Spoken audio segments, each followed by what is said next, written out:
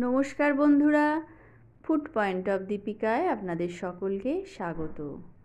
পটলের মধ্যে মাত্র এক চামচ মুসুর ডাল দিয়ে বানিয়ে নিতে পারেন দুর্দান্ত স্বাদের লাঞ্চ অথবা ডিনার রেসিপি। তো চলুন তাহলে ভিডিওটা প্রথম থেকে শেষ পর্যন্ত দেখতে থাকুন। তার জন্য গ্যাসের ওপর একটা কড়াই বসিয়ে আমি তার মধ্যে দুই টেবিল চামচ সর্ষের তেল দিয়ে দিয়ে দিচ্ছি স্বাদ মতো লবণ আর সামান্য হলুদ। লবণ আর হলুদটাকে ভালো করে তেলের সাথে মিশিয়ে নিয়ে দিয়ে দেব।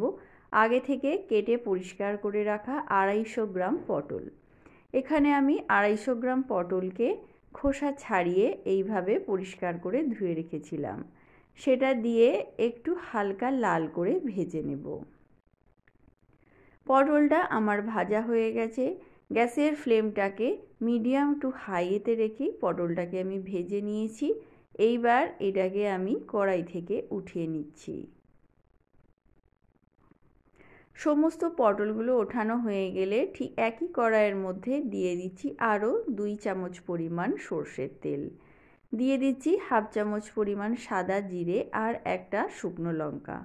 ফোড়নটাকে কুড়ি থেকে তিরিশ সেকেন্ড একটু নাড়াচাড়া করে ভেজে নেব। ফোড়নটা থেকে সুন্দর একটা গন্ধ বেরিয়ে গেলে দিয়ে দিচ্ছি দুটো মিডিয়াম সাইজের কুচি করে রাখা পেঁয়াজ। পেঁয়াজটাকে দিয়ে হালকা করে নাড়াচাড়া করে একটু ভেজে নেব। পেঁয়াজটা যাতে খুব তাড়াতাড়ি নরম হয়ে যায় সেই জন্য এর মধ্যে দিয়ে দিচ্ছি খুব সামান্য পরিমাণে লবণ।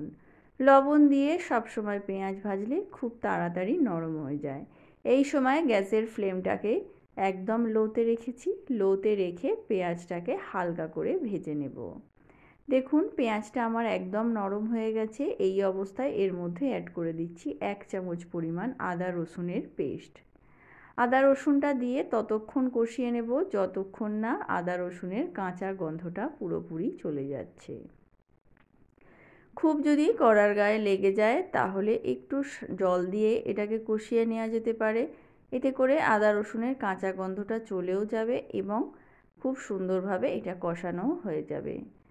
এটা ভালোভাবে কষানো হয়ে গেলে দিয়ে দিচ্ছি দুটো কুচি করে রাখা কাঁচা লঙ্কা, সামান্য হলুদ, হাফ চামচ পরিমাণ ধনে গুঁড়ো আর হাফ চামচ পরিমাণ কাশ্মীরি রেড চিলি পাউডার।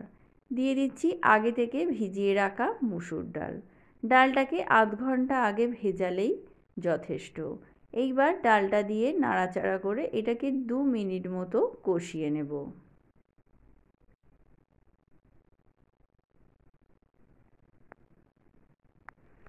ডালটা দিয়ে আমার দু মিনিট মতো কষানো হয়ে গেছে। এইবার যে পটলটা আগে থেকে ভেজে রেখেছিলাম, পটলটা এর মধ্যে অ্যাড করে দিলাম।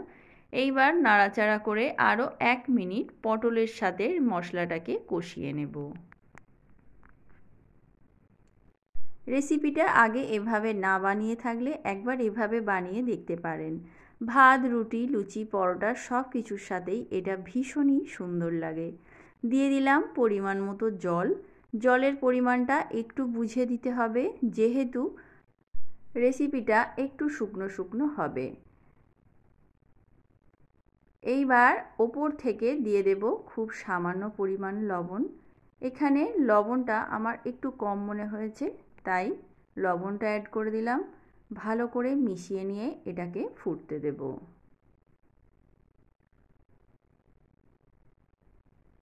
এটা ফুটতে আরম্ভ করেছে। এইবার ওপর থেকে দুটো চেরা কাঁচা লঙ্কা দিয়ে এটাকে ঢেকে দেব তিন থেকে চার মিনিটের জন্য।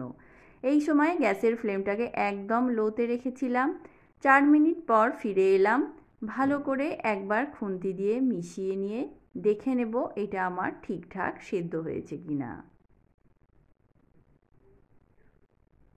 এটা একদমই হয়ে গেছে। দেখুন, ডালটাও একদম সেদ্ধ হয়ে গেছে।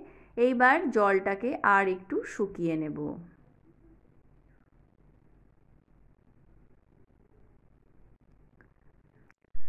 জলটা আমি শুকিয়ে নিয়েছি। এইবার এর মধ্যে দিয়ে দিচ্ছি খুব সামান্য পরিমাণ শাহি গরম মশলার গুঁড়ো।